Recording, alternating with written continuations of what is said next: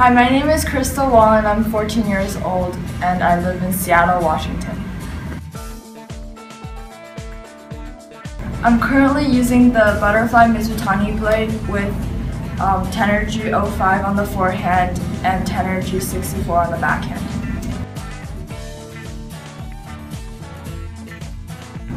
I've used the new Butterfly G40 balls at a couple tournaments and I think that they're much harder than the um, other poly balls and they last for a longer time.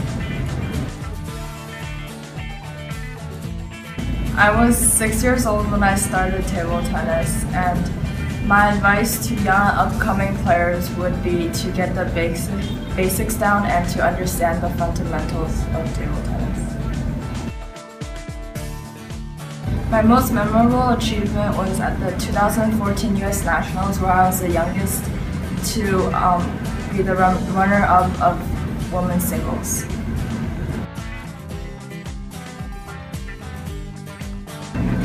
I love table tennis because I get to learn and gain experience from really high-level players and it helps improve my mental game.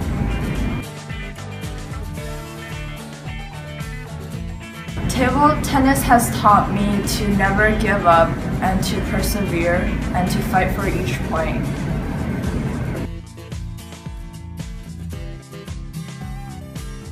One of the challenges I faced is moving from Maryland to Seattle and the training environment isn't as good in Seattle and there aren't as many high-level players.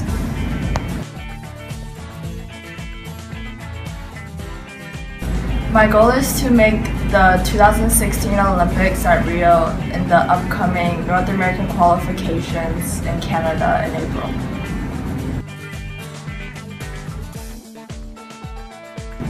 What I like to do in my free time is hanging out with my friends, drawing, or watching Korean drama.